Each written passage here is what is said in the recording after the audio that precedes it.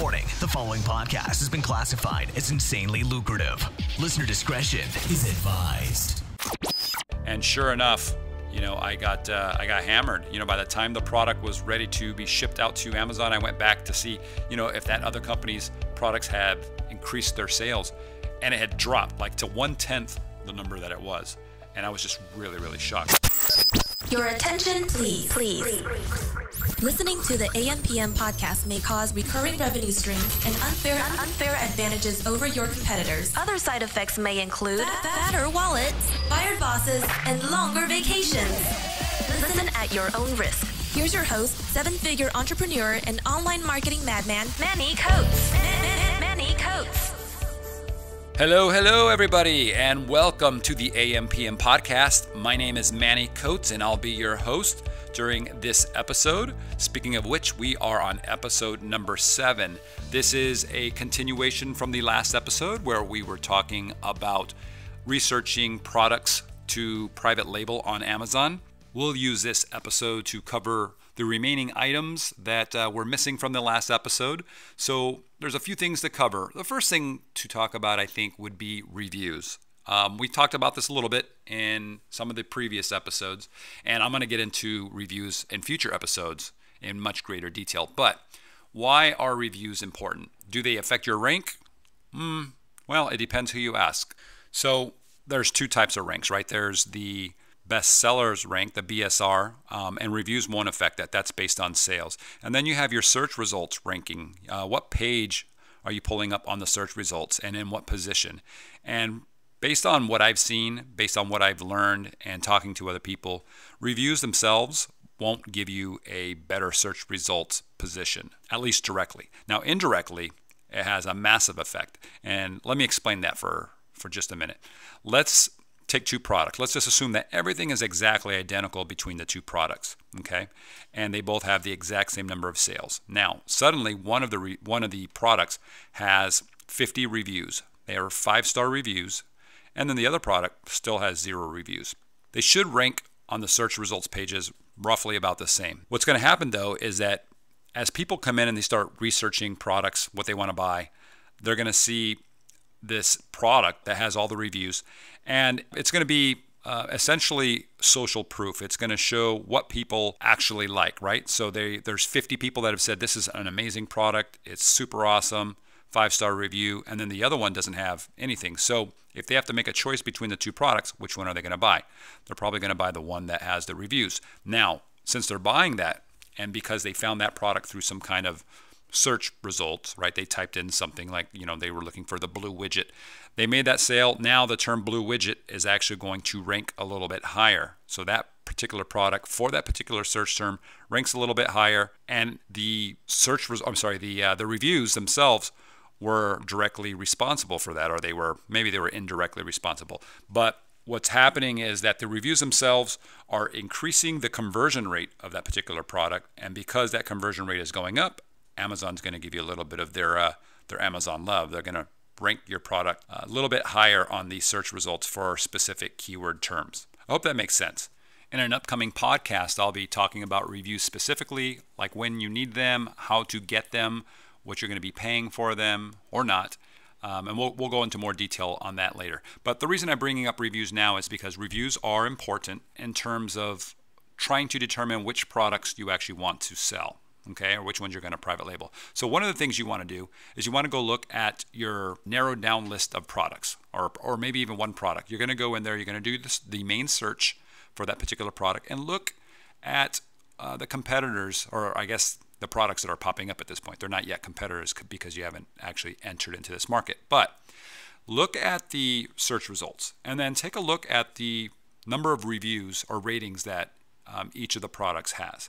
Okay, this is this is important. Um, it's going to give you an idea of how difficult it might be to actually outrank these guys. Okay, so what I like to do is I look for products where the top products, let's say the top five products, have somewhere uh, I would say a little bit less or somewhere under 300 reviews each.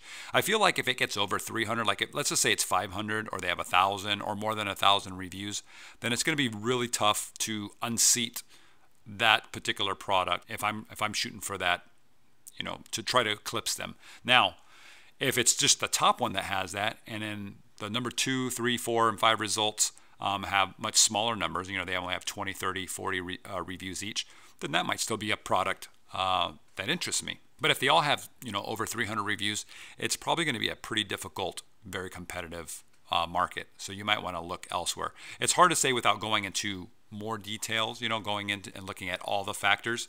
But um, as a good rule of thumb, take a look at the the first uh, page of results and just look at the top five to ten reviews or uh, sorry uh, products and see if those products have over 300 reviews. By the way, the number of reviews themselves doesn't mean or that's not specifically what makes it hard to outrank them. For example, if they've got 1,200 reviews, that means their sales volume is probably pretty high, which means in order to outrank them, typically you're going to have to sell at least as many, if not more, units than they do. So it could be just a difficult thing to do. You might not even have the resources to compete. The other thing is, it goes back to what I said earlier, where if you have a product and your competing product are showing up in a search or showing up in these search results, and their product has 1,200 reviews and yours only has 12, you know, all things being equal, oh, which one would you buy if you're the the customer? You know, you're going to buy the one that has you know 1,200 people that have essentially said, "This is awesome." Probably right. We're wired that way. We're geared. It's uh, there's safety in numbers. We kind of want to go where the crowd is. And then as more people buy their product, their conversion rate goes up. Right. They get more sales per click than uh, you're getting, which means Amazon continues to rank them higher. So again, try to sh- shoot for uh, those ones that are a little bit lower, and if you can find a niche where there's, it looks like there's good, a uh, good number of sales per month for the product, and there's just not that many reviews, then you landed a gold mine, and that's something to definitely look into a little bit more. Okay, so let's say that you do now have a product and you've looked it up, or you, have done you've done a research, you've you've pulled the search results for that particular product, the main what you think the main keyword search result would be for that particular product. And it looks good right? Everybody's under 300 search result i'm sorry 300 reviews. And their bsr is within the range that we wanted to to find a product in if you uh, don't know about this i covered that in the last uh, episode and i mentioned that the bsr should fall somewhere probably between 1000 and 5000 and that's going to give you enough sales volume to make the product worth going after so something between 1,000 and 5,000, and then you want the reviews to be under 300 on the top, let's say five to 10 products. I would say the top five products. 10 kind of gets a little bit, uh, I think it thins it out a little bit too much. Um, then what you want to do is you want to get those products and you want to track them for, for a little bit. I would say track them for about a week. And what I mean by tracking is you want to track their their BSR. Okay, you're gonna the BSR is an indicator of the sales, so you want to see if the, that sales volume that they're generating is consistent every single day for about a week. If it's if they're running a promotion, for example, they're trying to get reviews, there's something going on, they might be inflated, right? They might be spiked and you might be basing your decision on on jumping into this niche because you're like, "Wow, man, this product is like killing it." When in reality, it's just a short-term little burst or a big burst, right? I'm guilty of this. I actually did this uh, or made this error. I actually had a product that I was monitoring and it looked really cool. And I only monitored it for two or three days. And I was like, man, this thing is awesome. There's no competition. I can't believe it.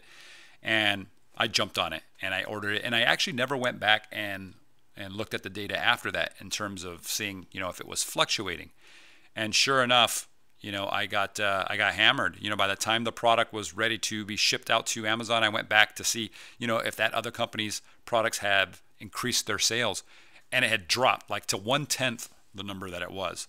And I was just really, really shocked. And that's because a lot of the tools that are out there that track this kind of stuff, they base the numbers of sales that a product is making on whatever the difference is in sales numbers for that particular day. So, if, you know, if it sees that in the last 24 hours it made 30 sales, then it does an extrapolation and it says, ah, okay, well, 30 sales times 30 days means it's doing 9,000 or sorry, uh, 900 sales and then the numbers are completely off. So what I suggest you do is you use a site called camelcamelcamel.com.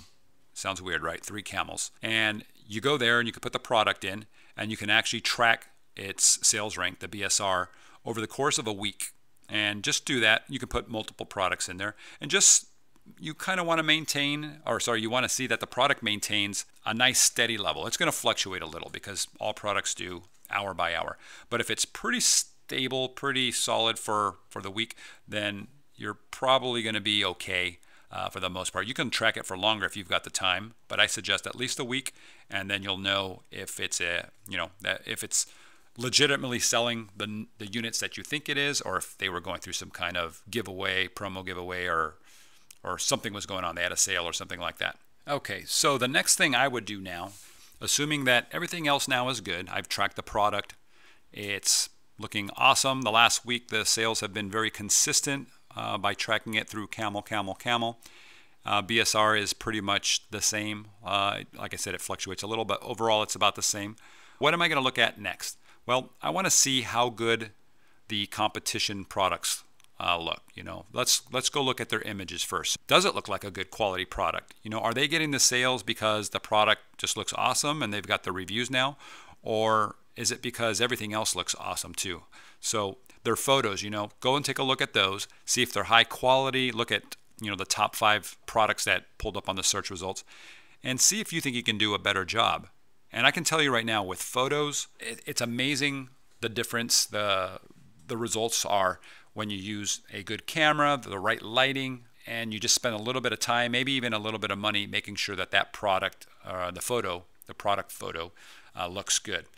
I see it over and over again where people spend all this time creating their perfect product for themselves. They spend all this time on the keyword research and everything else, and then they just snap a photo with their iPhone you know the lighting's just poor and the product just looks bad or they throw a bunch of writing up on there and it just it's not not only does it look bad but it's probably against Amazon's terms of service of how you can even show a product in the image. And I'm going to do a uh, an episode on on just the photos because that's there's a lot of important things there. But look at the re, uh, look at the competition see what their photos look like their images and um, take notes. See what really stands out to you in the product what you like look at the stuff that you really don't like and, and make note of that as well so you can make sure you don't do that. And just always make sure you have really good lighting when you're when you're doing your photos. There's services out there that you can use to uh, to take photos for you. And again we'll, we'll get into those details later on. It's not that important right now. Next thing i would do is look at their product name and see if they are actually using prime keywords those juicy keywords in their title because that's the stuff that Amazon is using to actually rank those products, or at least it's one of the most important variables. So, are they actually using the keywords that are that people are using to actually find these types of products in their title? Now, if they're one of the top products, they probably are, but you want to look at it. They might be missing some of the stuff, right? They might not be using the right phrases, the right keywords uh, in the title. Now, the other thing you want to look at as well is the bullet points, or are the bullet points. The bullet points uh, at this time, anyways, are also ranked by Amazon, keywords within the bullet points. So you want to do a mix, right? You want to mix the, your, your juiciest keywords within the title and within the bullet points. So are your competitors doing this? Are, are there opportunities where they've just not optimized their, their listings? They're not using all the keywords that they should? I mean, this could be a very huge opportunity for you. Copy their titles, copy their bullet points, put them into a spreadsheet, analyze that stuff, right? Take a look at it. It'll give you ideas later when you're writing your own bullet points and your own titles and and the keyword phrases or fields that you're going to have. You can have five of those. So take a look at that. See what everybody's doing. Are they good? Are they bad? What do you like? What don't you like? Uh, take note of everything. Okay, so one of the final things that we're going to cover here is now you've got this product, right? Um, you've checked the competitors, sales are stable, Everybody's got less than 300 reviews. Everything looks good. The products are are not owned and being sold by Amazon. What do you do now? Well, you want to take that product and you want to make sure that you can get it sourced. So what I do and what a lot of people do is uh, we source the products through Alibaba. Okay, and Alibaba.com is the site, and it's a it's the world's largest um, site for suppliers to list their services and products on. Um, so you can find factories from pretty much every country there. The majority of people that I know that are using Alibaba are manufacturing in China and Taiwan, but you can find factories, like I said, from just about any country. So Alibaba is where you want to go, I think, uh, in order to get stuff inexpensively, get it done quickly, and uh, pretty much find anything that you need to get made. Um, it's going to be available on Alibaba. Now, that's a whole episode on its own, and we're going to do exactly that. I'm going to stop this one here, and on the next episode, we'll be talking about Alibaba. We're going to be talking about how to find your product on there, how to make sure that you're not pulling in scammers that are actually trying to uh, get on your, your suppliers list and, and take your money. We're going to be talking about how to get samples, what you should do, how long you should expect to wait, what it's going to cost, what emails you're going to want to send to, to actually get the communication going, how to modify the products that they might already have to make it your own so that when you private label, people aren't jumping on your listing. Some issues that I went through when I was going through and trying to find suppliers. And we'll be talking about trade assurance, gold suppliers, patent issues, paying these suppliers, and how you should do that, plus a lot of other stuff. So tune in to that episode. It's going to be awesome. That's episode eight, and that's coming up next. So please stay tuned for the next episode. If you haven't already done so, please, please um, click that subscribe button and subscribe to the podcast. You can also get all the podcasts and additional information at the website, and that's at ampmpodcast.com. So thanks again, and we'll see you on the next episode. Take care, guys. Bye bye. You've been listening to the AMPM podcast hosted by Manny Coats. For more information, insider, insider tools, tools, and to get the resources mentioned in this episode, visit ampmpodcast.com.